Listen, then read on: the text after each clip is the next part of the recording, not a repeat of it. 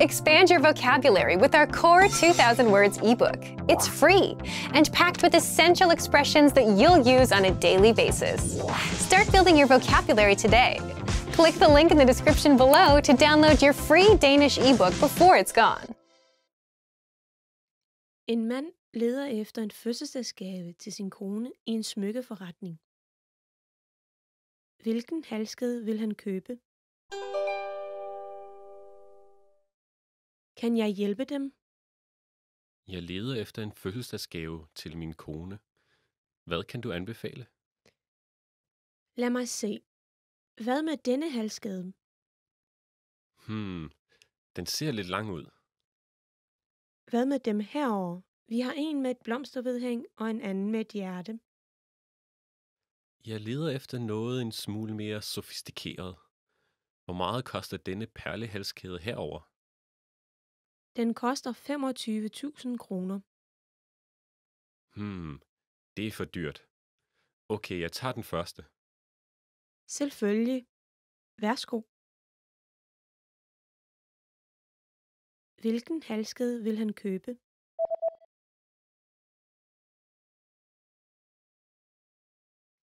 En mand leder efter en fødselsdagsgave til sin kone i en smykkeforretning.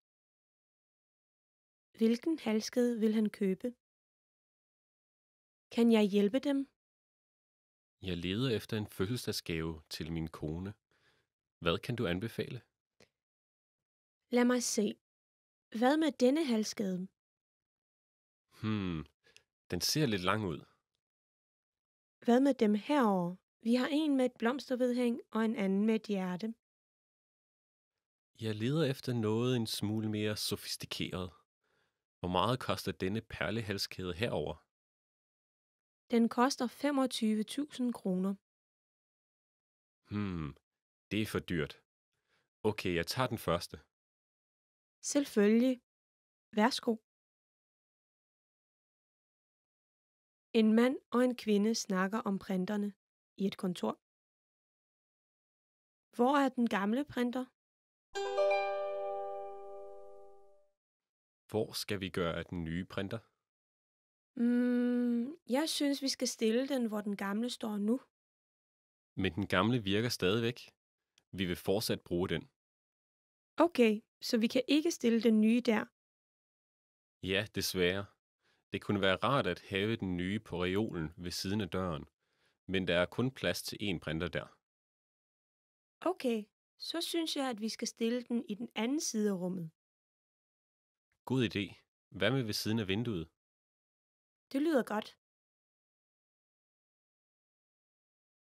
Hvor er den gamle printer?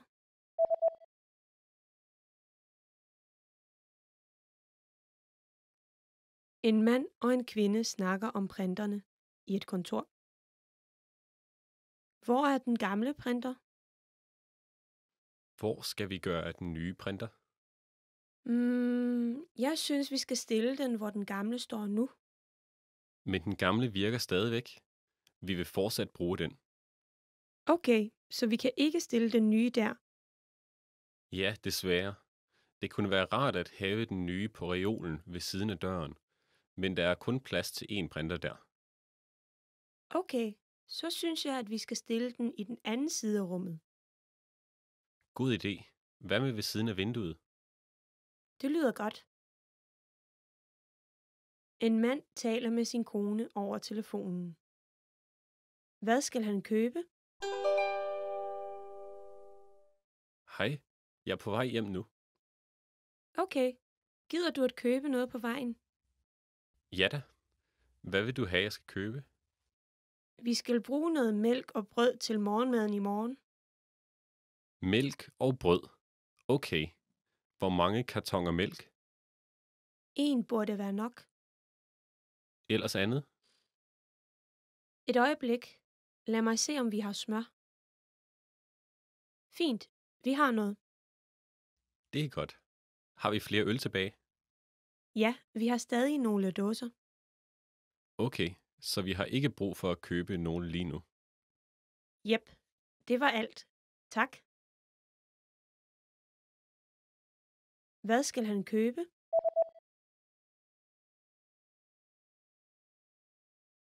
En mand taler med sin kone over telefonen. Hvad skal han købe? Hej, jeg er på vej hjem nu. Okay.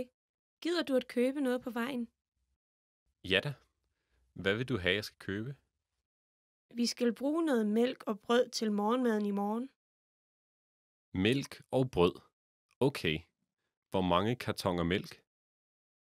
En burde være nok. Ellers andet? Et øjeblik. Lad mig se, om vi har smør. Fint. Vi har noget. Det er godt. Har vi flere øl tilbage? Ja, vi har stadig nogle dåser.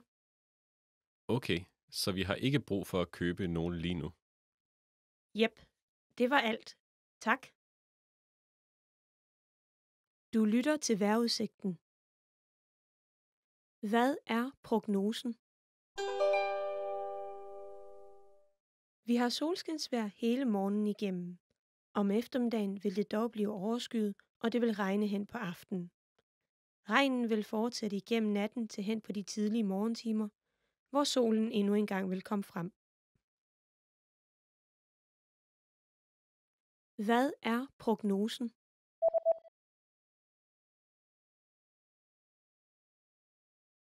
Du lytter til vejrudsigten. Hvad er prognosen? Vi har solskinsvejr hele morgenen igennem. Om eftermiddagen vil det dog blive overskyet, og det vil regne hen på aftenen. Regnen vil fortsætte igennem natten til hen på de tidlige morgentimer, hvor solen endnu engang vil komme frem. En mand og en kvinde taler om designet på firmaets visitkort. Hvilket design besluttede de sig for? Vi har fået nogle nye designmuligheder til visitkortet. Hvilken synes du er bedst? Lad mig se. Jeg synes firmanavnet burde være større. Okay, en af dem her så. Ja, jeg kan lide dem, fordi firmanavnet er stort og i toppen. En af dem har plads til et billede. Hvad synes du? Mm, jeg synes, det gør teksten en smule for lille. Ja, teksten kan være en smule svær at læse med billedet. Okay, så lad os tage den anden. Hvilket design besluttede de sig for?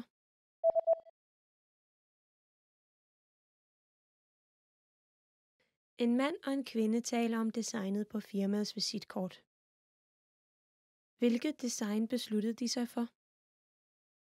Vi har fået nogle nye designmuligheder til visitkortet. Hvilken synes du er bedst? Lad mig se.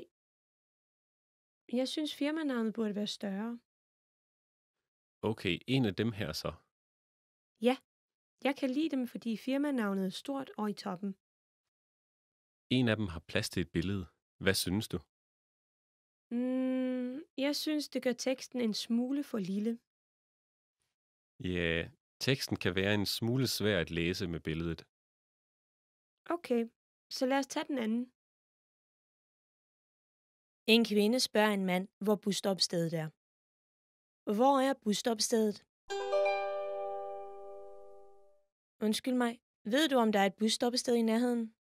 Ja, gå lige ud og drej til højre i det andet lyskryds. Derefter drej til venstre på hjørnet af bogbutikken, og du kan se en bank.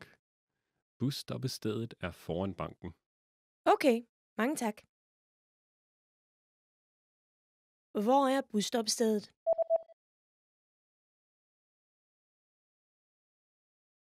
En kvinde spørger en mand, hvor busstopstedet er. Hvor er busstopstedet? Undskyld mig, ved du, om der er et busstoppested i nærheden? Ja, gå lige ud og drej til højre i det andet lyskryds. Derefter drej til venstre på hjørnet af bogbutikken, og du kan se en bank. Busstoppestedet er foran banken. Okay, mange tak. En kvinde taler med sin chef. Hvad vil de drikke til mødet? Vi skal have et møde med Michael fra vores kontor i New York i eftermiddag. Ved du, om der er nogle drikkevarer tilbage? Vi har noget kaffe. Hmm, Michael drikker ikke kaffe. Har vi noget vand på flaske? Ja, Jeg tror, der er stadig noget tilbage. Fantastisk. Meget godt. Vil du have noget? Jeg tager det samme tak. Hvad vil de drikke til mødet?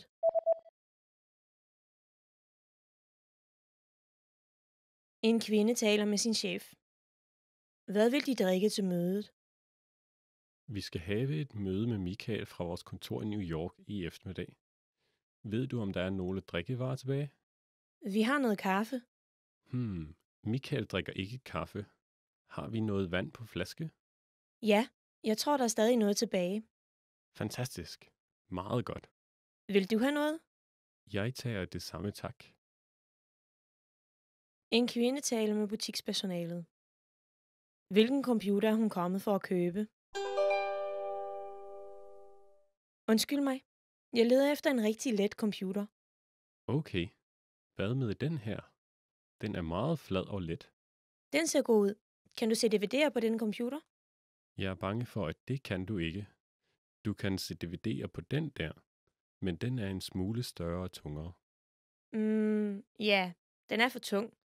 Jeg køber den første. Mange tak. Du kan vælge mellem hvid, sort eller sølv.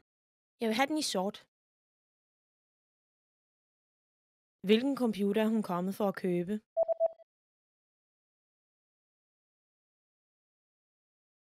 En kvinde taler med butikspersonalet.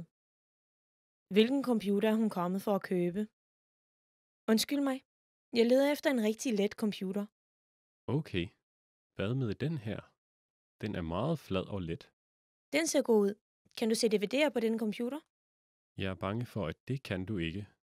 Du kan se DVD'er på den der, men den er en smule større og tungere. Mm, ja, den er for tung. Jeg køber den første. Mange tak. Du kan vælge mellem hvid, sort eller sølv. Jeg vil have den i sort. En mand taler med en kvinde omkring hans rejseprogram. Hvornår kommer han hjem? Du tager på en rejse i næste uge, gør du ikke? Ja, jeg tager til Chicago på tirsdag. Jeg skal være der i to nætter. Så tager du til Taipei? Ja, jeg tager til Taipei på torsdag og bliver der en nat, og så kommer jeg hjem igen. Så du kan deltage i møde på lørdag, ikke? Ja, det kan jeg. Hvornår kommer han hjem?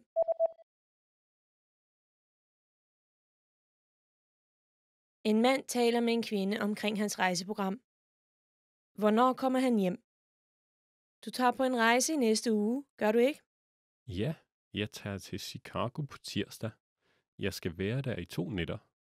Så tager du til Taipei? Ja, jeg tager til Taipei på torsdag og bliver der en nat, og så kommer jeg hjem igen. Så du kan deltage i møde på lørdag, ikke? Ja, det kan jeg. En mand bestiller en pizza over telefonen. Hvad bestiller han? Tak for deres opkald. Det er pizzastation. Hej, kan jeg få en hvidløg tomatpizza? En hvidløg tomatpizza. Okay, hvilken størrelse? Stor, tak. Og venligst skal den i 8 stykker. Selvfølgelig. Ellers andet? Ja. Jeg vil gerne have fire grissini og to dåse cola. OK. Vi vil være der om cirka 40 minutter. Hvad bestiller han?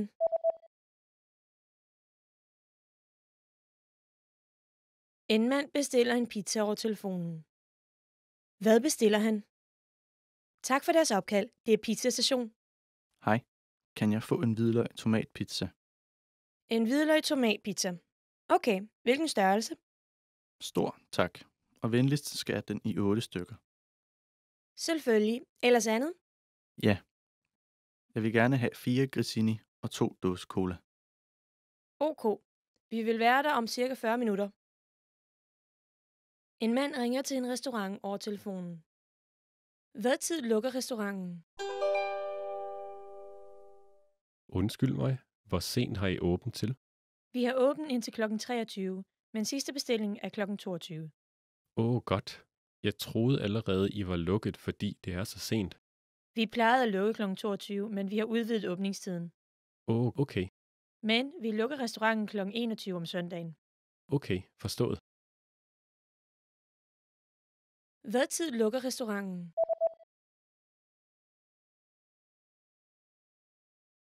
En mand ringer til en restaurant over telefonen. Hvad tid lukker restauranten? Undskyld mig, hvor sent har I åbent til? Vi har åbent indtil kl. 23, men sidste bestilling er kl. 22. Åh, oh, godt. Jeg troede allerede, I var lukket, fordi det er så sent. Vi plejede at lukke kl. 22, men vi har udvidet åbningstiden. Åh, oh, okay. Men vi lukker restauranten kl. 21 om søndagen. Okay, forstået. En mand og en kone er ved at shoppe på nettet. Hvornår vil støvsugeren blive leveret? Hey, hvad synes du om denne støvsuger? Jeg synes, den ser pæn ud. Vil du bestille den? Ja, det vil jeg.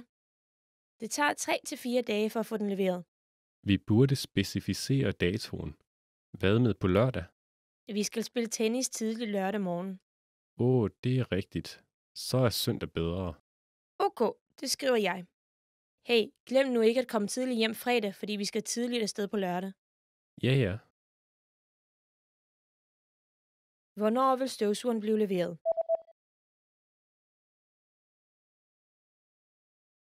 En mand og en kone er ved at shoppe på nettet. Hvornår vil støvsugeren blive leveret? Hey, hvad synes du om denne støvsuger? Jeg synes, den ser pæn ud. Vil du bestille den? Ja, det vil jeg. Det tager 3-4 dage for at få den leveret. Vi burde specificere datoen. Hvad med på lørdag? Vi skal spille tennis tidlig lørdag morgen. Åh, oh, det er rigtigt. Så er søndag bedre. Ok, det skriver jeg. Hey, glem nu ikke at komme tidligt hjem fredag, fordi vi skal tidligt afsted på lørdag. Ja, ja. Expand your vocabulary with our core 2000 words ebook. It's free and packed with essential expressions that you'll use on a daily basis. Start building your vocabulary today. Click the link in the description below to download your free Danish ebook before it's gone.